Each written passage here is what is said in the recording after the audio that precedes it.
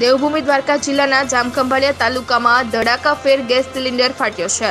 જામખંભાળિયા નજીક આવેલી શ્રીજી હોટલ પાસેના રહેણાંક મકાનમાં ગેસ સિલિન્ડર ફાટતા ત્રણ લોકો ઈજાગ્રસ્ત થયા. રહેણાંક મકાનમાં ગેસ સિલિન્ડર ફાટતા ત્રણ લોકોને ગંભીર ઈજાઓ પહોંચતા એકસો આઠ મારફતે ખંભાળિયાની ખાનગી હોસ્પિટલમાં સારવાર માટે ખસેડવામાં આવ્યા છે. રહેણાંક મકાનમાં ગેસ સિલિન્ડર ફાટતા મકાન થયું જર્જરિત રહેણાંક મકાનની દિવાલોમાં મસ મોટી તિરાડો પડી સાથે જ મોટા પ્રમાણમાં નુકસાન થયું છે.